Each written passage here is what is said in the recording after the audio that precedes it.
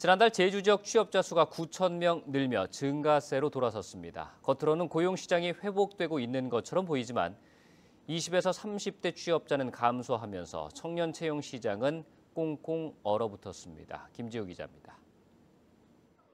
3년째 취업문을 두들기고 있는 20대 청년 이한솔 씨. 지난해부터는 경찰 공무원 시험을 준비하고 있습니다. 한때 사기업 취업을 알아봤지만 낮은 임금과 열악한 근무 환경에 마음을 접고 경쟁이 치열한 경찰 시험에 뛰어들었습니다. 제주도는 약간 취업할 때가 좀 적은 것 같긴 해요.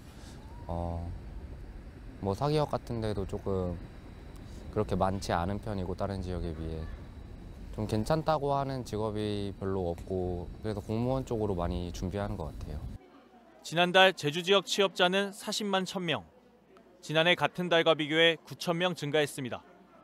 도내 취업자 수는 지난해 10월부터 3개월 연속 감소하다 지난달 증가세로 돌아섰습니다. 이는 지난 2022년 12월 1만 9천 명 늘어난 이후 가장 큰 취업자 증가폭입니다. 표면적으로는 고용 시장이 안정세를 되찾은 것처럼 보이지만 속을 들여다보면 그렇지 않습니다.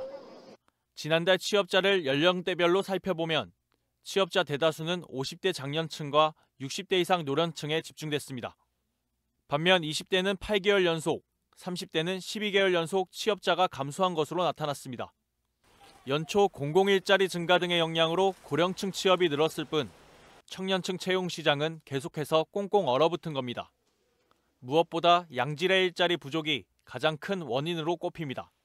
20대는 감소 규모가 크진 않지만 전년에 비해 감소했는데 이는 20, 30대 인구 감소 영향과 더불어서 청년들이 원하는 일자리를 찾기 위한 구직 대기 기간이 길어지는 등의 영향이 있는 것으로 보입니다.